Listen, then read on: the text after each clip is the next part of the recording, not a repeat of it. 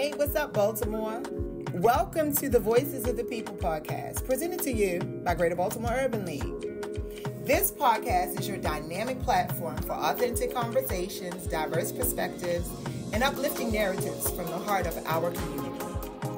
Get ready to tune in and be inspired as we amplify the voices of change makers, innovators, and everyday heroes shaping the fabric of Baltimore.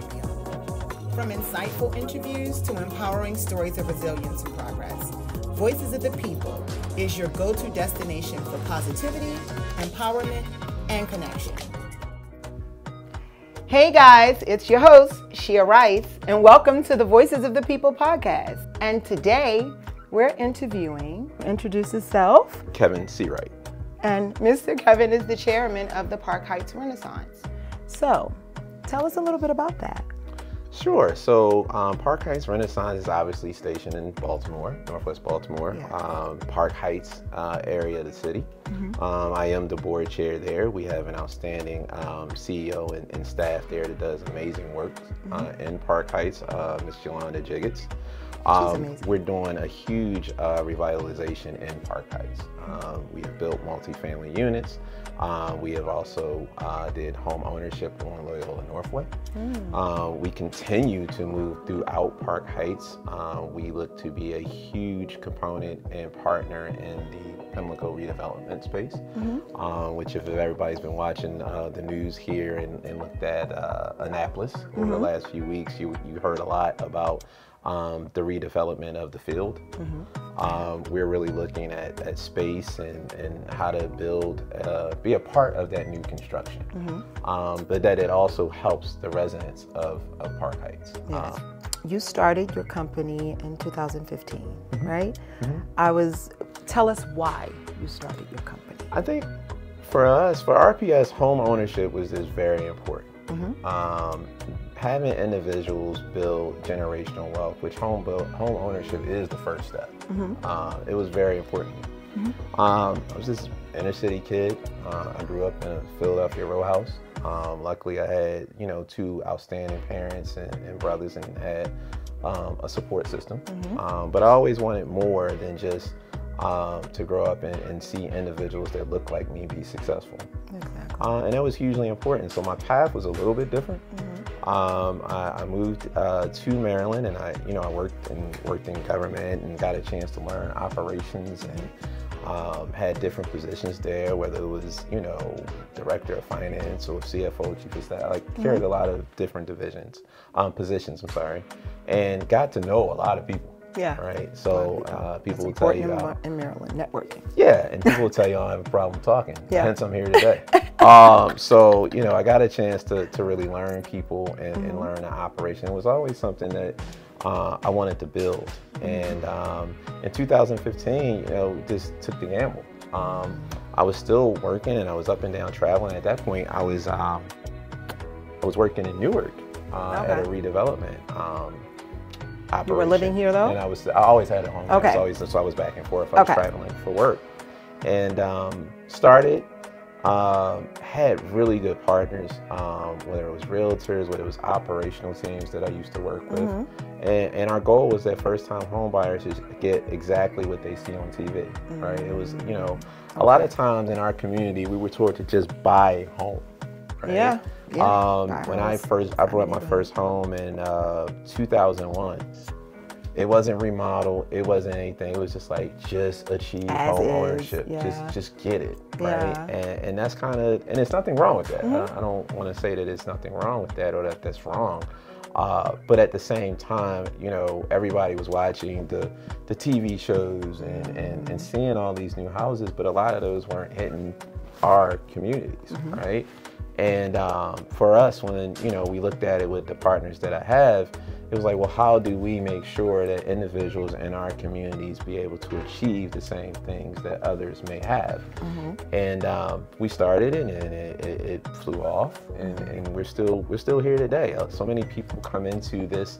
Um, in this arena and it's kind of like they're in and they're out and they're they're out overnight but it's been sustainable Yeah. um, you know nine years ten years in um, now we, we feel that we've done a lot of good work um, throughout the city um, I've even had opportunities to still do some work at home where I grew up at, so Oh, that, that Philadelphia. So that's been uh, a blessing. Um, I've been able to do certain things with my brothers. So uh, Okay. you push that that legacy um, reward and pass it down. Um, so we're really doing everything and entitling even homes into you know our nieces and nephews. So Building um, generational building wealth. generational wealth. That's what we're and, about, And that is, that is something Yeah. that is very important. Yeah. Um, it's not easy. it's not easy. I wouldn't tell you it's easy. Nowhere near. This is this is not an interview where I'm like, oh man, this was really simple. Yeah, like, this happened overnight. No, no, it, like no, it does that- not happen overnight. that consistency look like this. Ebbs and flows. yeah, absolutely. and you're only as good as the people that you put around you. For sure. And um, partnership is important. Mm-hmm. Um, understanding that partnership and trust i- is, very important. So that was the model. Um, that was the goal. We're still here today. Uh, we're doing a lot of work uh, with partners um, like Neighborhood Housing Services Mm-hmm. um, in uh, Baltimore. So the Panway Walbrook, we're doing a lot of work there now. Okay, great. with the CEO of uh, Dan Ellis, who's great, has always been a partner. Okay. Um, he basically, you know, this was like five years ago. Uh, we talked and we were in, and he said, you know, Kevin, I have, I want to really do a huge redevelopment in in Walbrook. Okay. And um, at that point, there was no money and no anything, right? We were just talking. And um, a few le- few years later, there was a, a myriad of partners that came in and subsidy money that came in um, to the organization. And at this point, you know, over 30 houses um, have been done in the Walbrook Panway area. Really? So Wow. I have not. You know what? Shame on me. I've not driven over there. Such a long Drive time. but over there, because of drive that, over there. I will go and take a trip to see Yep, the new development.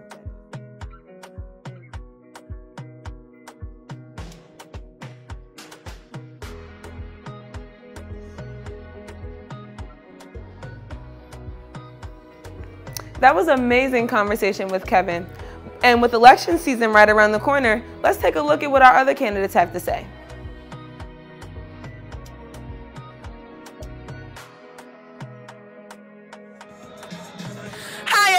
I'm Deja Towns here with the Greater Baltimore Urban League, and we're here on the Voices of the People podcast.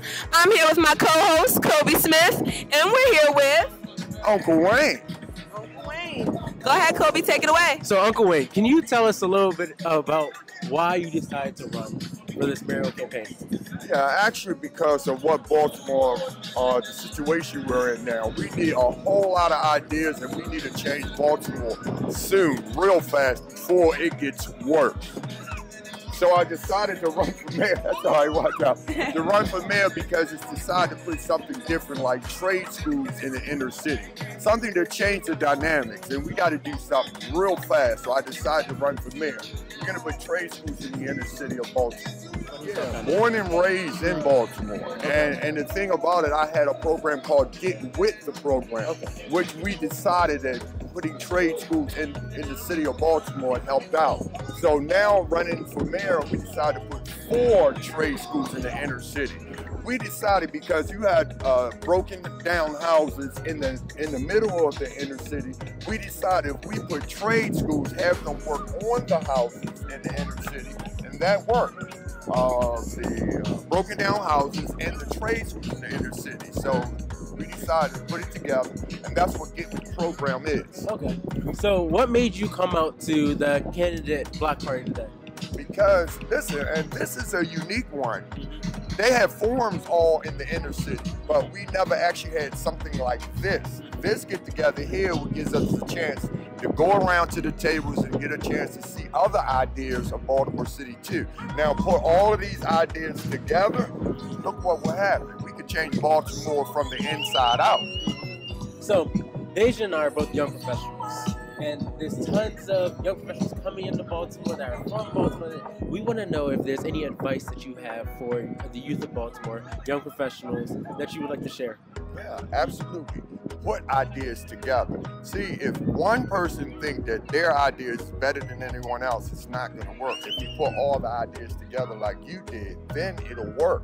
See, together we can make this work. Listen, we got in this mess together. We got to get out of this mess together. Well, You guys heard it from Uncle Wayne. Wayne it is. Hi, everybody. I'm Deja Towns here with the Greater Baltimore Urban League, and we're here on the Voices of the People podcast. I'm here with my co-host Kobe Smith, and we're also with Wendell Freeman. Kobe. Take it away. Okay, so our first question for you is, what made you run for mayor? Well, honestly, I've been wanting to run for mayor back in 2015 when Freddie Gray was going on and the, the city was in mayhem. Uh, I just wasn't eligible at the time. I was too young.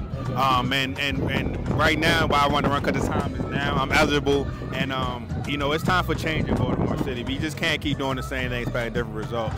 You know, and I just feel like I'm the change agent to move us to the future. So, I'm assuming I, we're both young professionals. I'm assuming you're also young professionals. Do you have any words of wisdom to share with um, the youth of Baltimore, the young professionals out there that are looking to build, grow, and um, aspire to be great? Yes, I would tell them to, to not to not lead they past as an excuse. Uh, don't let nobody tell you that you can't do anything. Uh, I'm the same person who uh, wasn't raised with my mom and dad. I was raised with legal guardians who told me every day I couldn't do anything, and I became the youngest CEO of a marketing company at 18 years old. You know, youngest candidate ever to run for mayor. You know, had my own house at 21 years old. So these are things where you know when people tell you that you can't do anything, I'm to tell you that you can do anything that you want to do. So, uh, you just listed off your the resume a little bit. That was amazing. But how do you position yourself to feel confident enough in all that as to become the youngest candidate for mayor?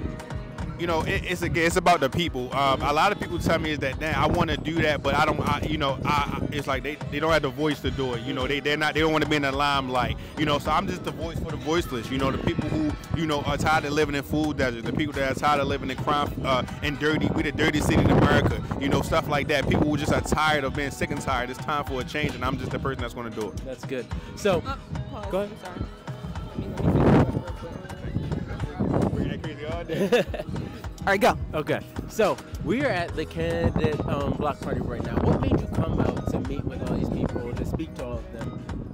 Tell me a Uh, little bit about that. Uh, yeah, what made me actually come out was that you know at the end of the day I'm I'm, the, I'm for the people. You know my campaign is about putting the people first. So anytime I have the time to interact with people, talk to people, and let them know about my vision for a better Baltimore, I'm always going to be there. You know, no matter if it's for two minutes, five minutes, or 30 minutes. You know, as long as I can get out what I need to say to the community, that's all that matters. I'm here with the Greater Baltimore Urban League on our Voices of the People podcast. I'm here with my co-host Kobe Smith, and we're here with.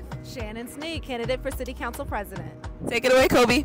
Okay, um, Miss Sneed, can you tell us a little bit about why you decided to run for city council president? Listen, I was just frustrated about some of the things that was happening in our community, and I didn't see leadership in City Hall, essentially. And so I decided to put my hat, and I have a daughter that's in Baltimore City Public School. I'm a former journalist, and so I know that there are questions that we can ask. I know that there are things that we can do um, in terms of policy. And listen, I'm a former councilwoman. I've written policy, I've worked with other folks um, to get good policy um, written and done, and worked with colleagues to actually get it passed. It, it's not up to one person, it's making sure that together, collectively, we can make a difference in Baltimore City. Exactly. So, do you have any um, words of wisdom or advice for young professionals growing up and trying to um, grow within Baltimore? Absolutely. Listen, I'm a graduate of University of Maryland Eastern Shore. I went to Morgan for my master's degree. Um, I am a public finance candidate, which means I am not taking any funds from any developers, unions, special interests. It all comes from individual people. And I say I'm like Shirley Chisholm. I'm unbought and unbossed. And I feel like from the beginning we need to make sure that we are actually putting our priorities first and doing things that we care about that will make a difference. So that's what I would tell young people. Sometimes it is not about the money. It is about doing the right thing and it's about serving our community, giving back. Uh, generations of before us said, listen, um, do the right thing, go to school, get a good education, and come back to the community so you can help and give back. And I've done exactly that. So that would be my same advice to you guys. And for the people who don't know me, I uh, want them to go to Shannon Sneed, S N E E D, for the number four baltimore.com to hear more about my platform, things that I've done as a councilwoman to make a difference in our community. Um, things that don't just sound good, but that actually make a difference in everyday lives. Okay, that sounds good. Well, unless you have any other questions, you can go ahead. I do not. Thank you, Miss Sneed, for coming out and speaking to us. I really appreciate it. Thank you, Jonathan.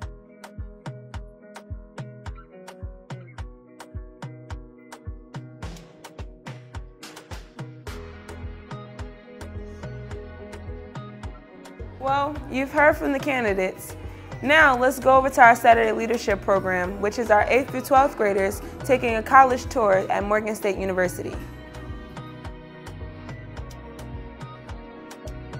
Uh, good morning. I am Dr. Edwin Green Jr. I am a volunteer with the Greater Baltimore Urban League for the Saturday Leadership Program. We're here today at the National Treasure Morgan State University for one of our college sessions with our scholars. We talked today with our young people about the importance of voting and being engaged in the political process. And so you'll see we have information where we kind of went back in history and talked about the civil rights movement and, and suffrage, and we brought it all the way up to today with the current uh, mayoral debate uh, in Baltimore City. And so our program has been in existence for more than 15 years. I've been involved with it for most of those years. Our scholars overwhelmingly graduate the program and they go on to college. This is a college readiness leadership program. And so we're really happy to tout the success uh, of the program over the years. Bring your kids in, go to gbul.org to register. You can register at any throughout the school year, and we're happy to have your young people participate in our program. Thank you. Wow, you guys just heard from the Saturday Leadership Program. If you're in the 8th through 12th grade and you're looking to get involved, don't hesitate, jump right in. Now let's get back to our conversation with Kevin Seawright, CEO of RPS Solutions.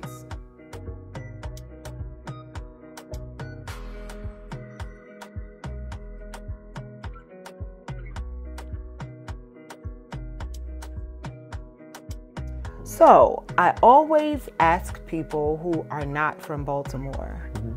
why Baltimore? When I was in the Navy, right, mm-hmm. I would always meet people that would be like, oh, mm-hmm. when I'm getting out, I want to move to Baltimore. And I'm like, why Baltimore? And I'm, you know, I'm from Baltimore. So I always people ask people, why Baltimore? I love Baltimore, but you know, what, what made you choose Baltimore? Oh, Baltimore? I mean, to be honest with you, it's just a smaller version of Philadelphia. It is. I knew you were Um, so uh, it wasn't a major. Uh, it wasn't a major adjustment. Mm-hmm. Um, it still was, you know, like what I knew. I wasn't too far from what I Yeah. knew. Uh, I mean, there's nuances no matter where you go. Now I've lived, you know, I've been in Philly. I've lived here. I lived in Newark. So you know, I've been up and down the East Coast at this point. Um, but the nuances of Baltimore are not much different than Philly. So um, it wasn't like I moved from, you know, Philadelphia and went to Charlotte, North Carolina. It, it felt very uh, easy to adapt. Um, and I wound up staying. So uh, I've been here that. for, you know, over, well, I don't want to say my age, but uh, been here for a little while now. Been here for a little while. know? That's amazing. For a little bit. So, being a real estate developer, mm-hmm. what advice would you give?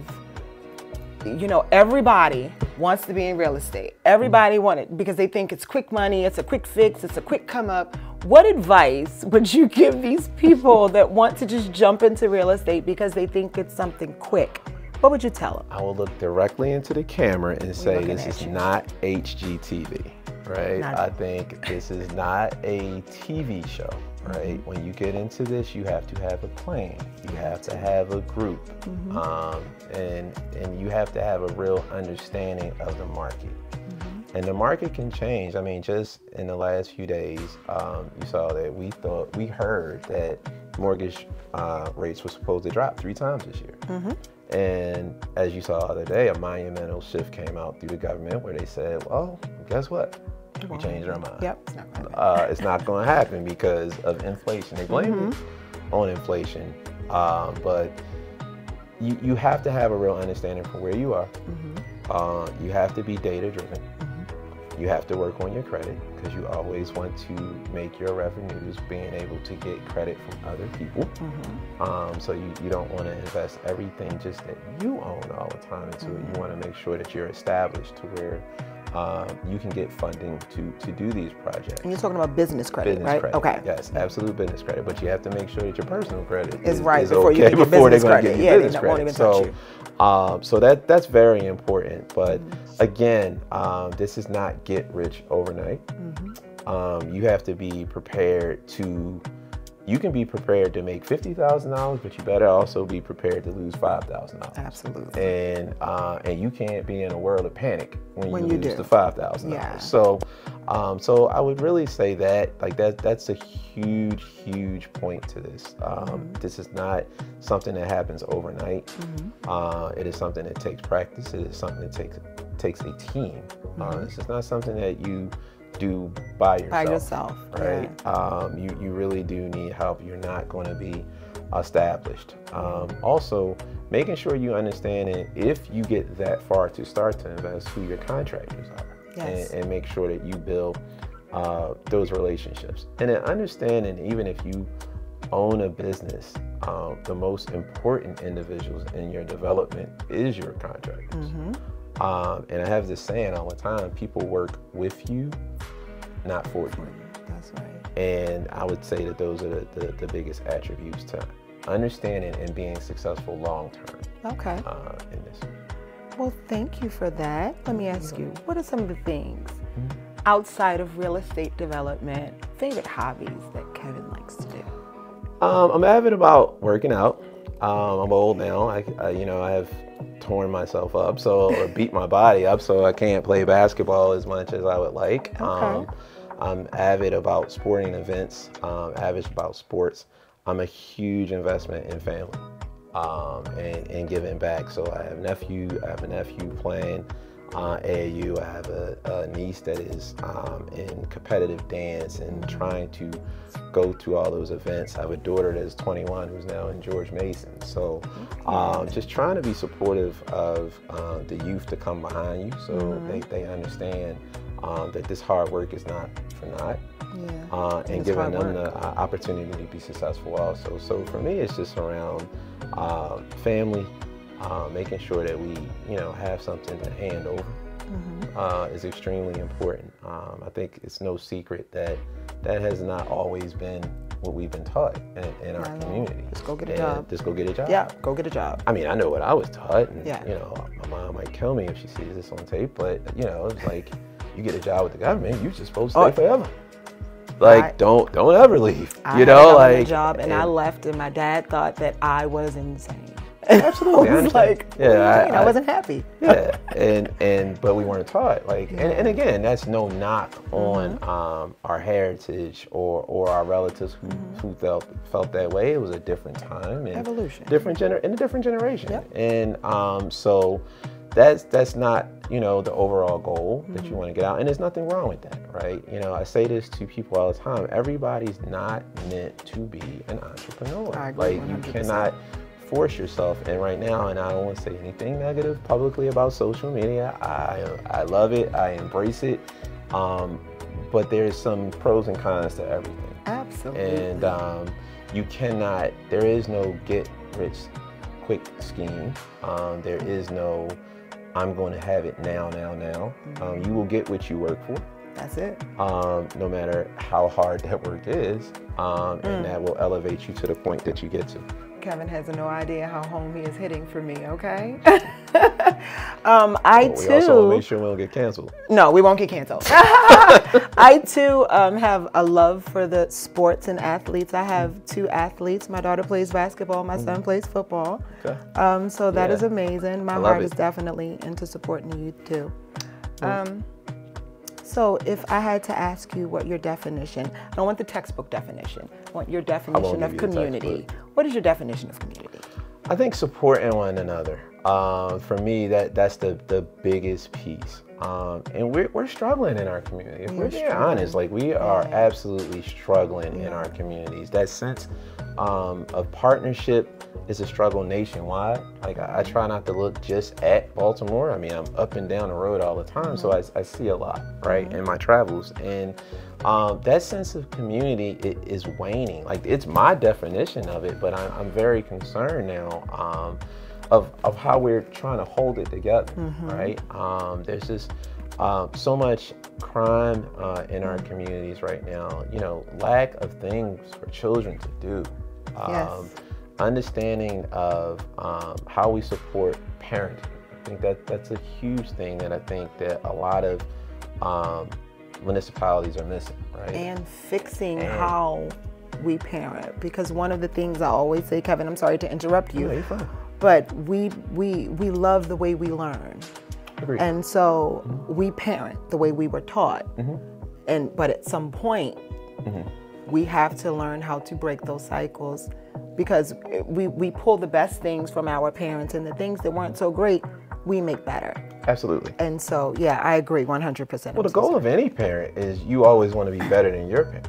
Absolutely. And, and that doesn't mean that your parents were bad. Mhm. You No, for right? sure. It means like any every generation you want to improve. Mhm. And I say to other people, I, I say with our youth, when people complain, I say so often, um, every generation is just going to be better, Better. or worse Yep. at what you gave them. That's true. That's right? And, and a lot of times we do a great job at blaming, Mm-hmm. um, but we don't look at the cycle and, and, and how we got there. And um, I think that that's really important. But to go back to your question, I, I do think that a huge sense of community is important because it drives everything else, right? If you have support in your community, if you, you know, have Miss Johnson or because everybody's not going to have a like we all know, like everybody's not going to have a mother, father, or whatever. Like it's not That complete family unit. like yeah. that's, I mean, it, it's not realistic. It's not anymore. As sad as that Mhm. sounds, it's, it's not completely real. The data supports what Mm-hmm. it is. So we're not saying anything out of line. Um, but at the same time, you still had, you know, Miss Johnson or um, uh, Miss Logan or Mm-hmm. whoever that is. Um, that really came in and tried to make sure that they supported Mm-hmm. um, what was going on, and I think neighborhood grandma. neighborhood grandma. Yeah. And, and, and now we're, we're missing a, a lot of that. We right? are missing it. And the sense of, of community, I think, it, to me, is the most important thing. And it's something that we just have to continue to, to navigate and work on.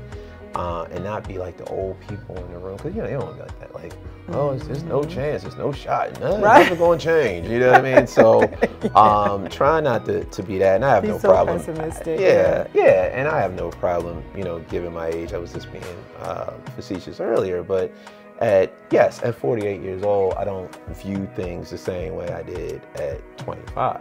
And you're young, sir. Yeah, but I don't want to be. Yeah, I don't know. We're my, young at 48. My knees don't feel young, but um, but at the same point, um, as we as we move forward, you also don't want to be uh, the person who's like, it's never going to get fixed. It's like, Yeah. how are you going to be a part of that? What do you do? Um, and I- and I'll be honest, some days it's a struggle. Like you know, we practice wanting to give individuals opportunity. Mm. Like that is so important in, in our community, and we just can't give up. Yeah, I agree. Um, well, I think that what you're doing with all the work that you're doing in the community is the first start, right? And you're you're bringing the community together in the way that you are, and so I think that that's the first start.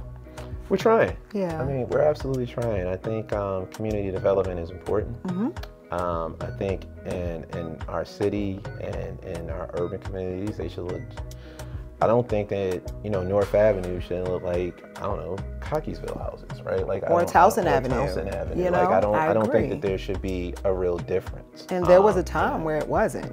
Absolutely. There was a time when I was alive Mm-hmm. during that time where North Avenue did not look the way that it looks Mm-hmm. now. And so, yeah, uh, real estate developer, developers like you guys Mm-hmm. are coming in to make our land beautiful again. Absolutely. I mean, Yeah. that, that's the overall goal. Yeah. Um, but for me, I, I never, I never make a misunderstanding that I want to see individuals become home owners so they can tend that to everything else. People don't understand how important home ownership to the economy, right? yes. Let them know. Um, how many people buy dictates Home Depots, dictates markets, right? Like it, all that data dictates when people are buying what's actually built in that in that community. I did not right? know that, and it makes sense because I always say it's not a lot of neighborhoods in Baltimore where you will find a grocery store, a bank, a Mm-hmm. school, or um, it's four things: a grocery store, a bank, a school, Or rec center or right, But, rec uh, centers. They're all closed, so, but yeah. you know you Yeah. Mm-hmm. won't be able to find all those three things in one community in Baltimore. You have to travel. At least a good grocery store, anyway. You would have to travel. Food deserts. I mean, what we call yeah. them is food deserts, and um, you do have groceries that are coming Hospital in now, and is the fourth. Yep. Exactly. So, um, so you do have you know other businesses that are coming in now that are trying to be more supportive Mm-hmm. of that, but the data also has to support it. Any good business is going to look at data before they make any decision. So Exactly. I'm not going to put potentially a Home Depot in a neighborhood where 82% of the people are renters. Are renters, yeah. Like, what am I going to do with I- that? What am I going to do with that? yeah. And, and so often we blame, Mhm. um, as, as a society, we blame the businesses, right? Can't blame the but, businesses. Um, but you have to take that opportunity to actually try to figure out the home ownership level, and then home ownership tends to help you in so many different Mm-hmm. levels, right?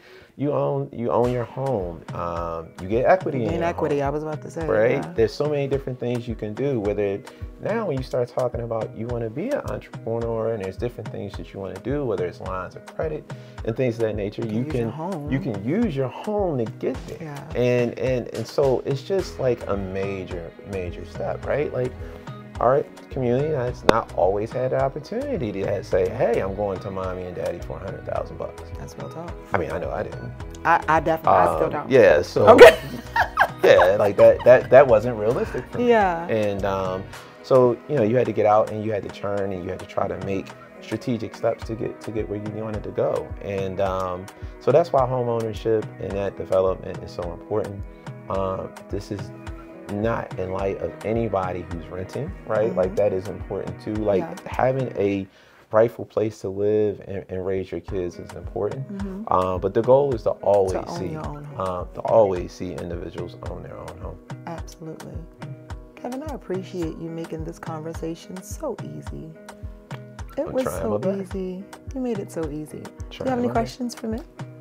No, I think No.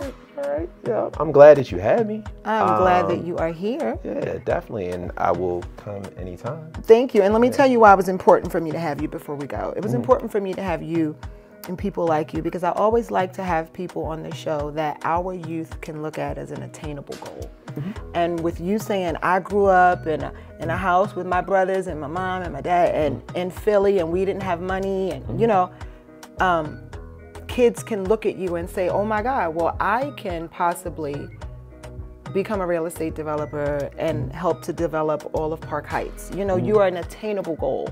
And so people like you are very important for the Voices of the People. podcast. Absolutely, I think, and I, it's not about a real estate developer. It's about you can be important.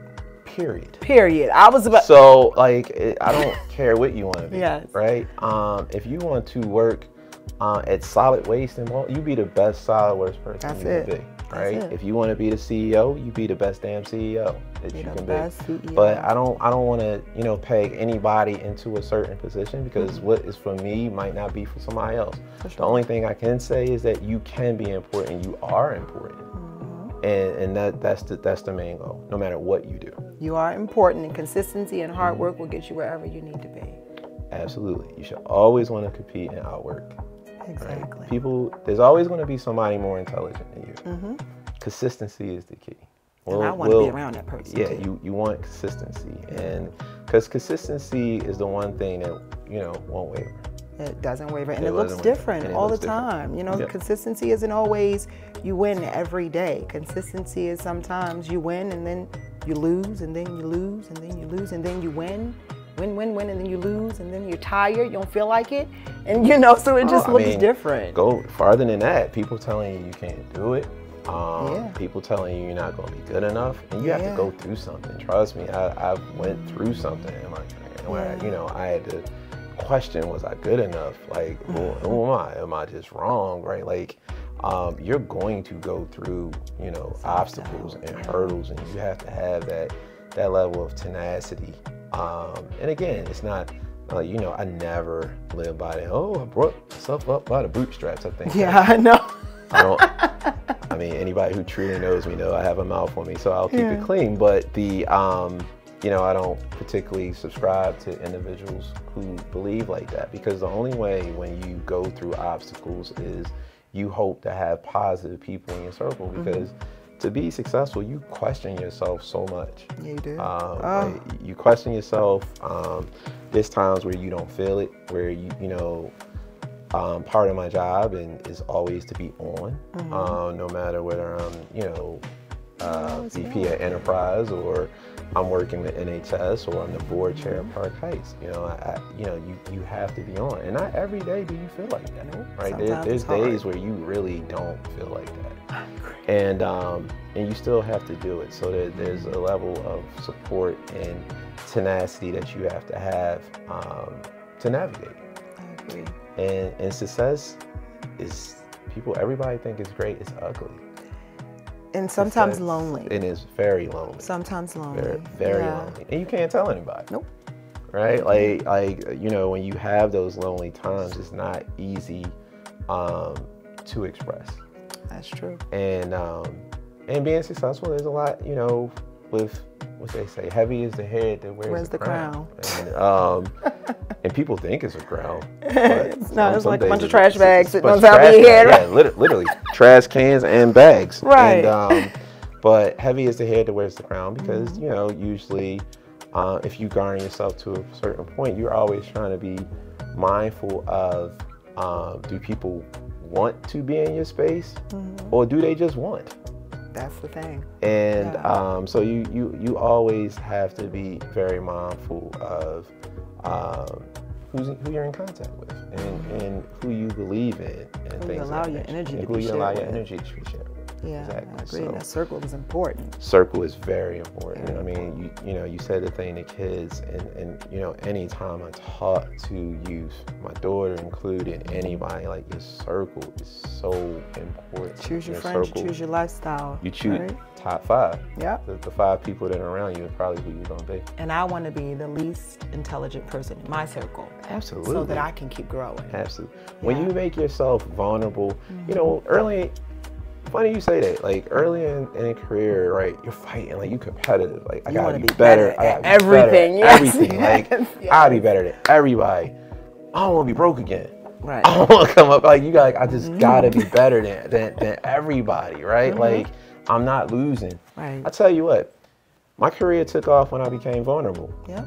And um, where it wasn't a fight that I got to be better. Now you still do need to be good, right? You Still need we, to be great. We, have a society Have where everybody gets a trophy. I'm not really on board about that either. But um, we not no shade to little league, not- right? yeah, I'm not on board with everybody gets a trophy. But however, right, like Yeah. um, when I became vulnerable, and as you said, like never be the smartest person um, in the room, Yeah. right? Always doesn't mean that um, you lack depth, Right. right? No. But people are so much. They're willing to give more to you, Mm-hmm. right? When you're not trying to be the smartest person in the room, and that's just, you know, advice that I, you know, I try to give to to to everyone Yeah. um, that is trying to, you know, excel in their career and things of that nature. It's like, you know, be vulnerable, right? Like, you know, it's okay not to know. Right, it's okay. Like, it's absolutely okay not to know, Yeah. and and being okay with you don't know, because people will be more apt to to give you the information. Absolutely. Yep. Well, there you have it, Voices of the People. We appreciate you. Thanks for having me. Thanks I, for I coming. I truly appreciate it. Thanks for all the people who uh, got me here today. I appreciate the behind the scenes and obviously the on the scenes. Absolutely. And you guys heard it. He said he will be at Afro Break, so we are holding him to it. I will be there. Okay. Join us in the next episode of Voices of the People, you guys. Have a good one. Thanks, kings and queens, for joining us on the Voices of the People podcast. Until the next time, peace.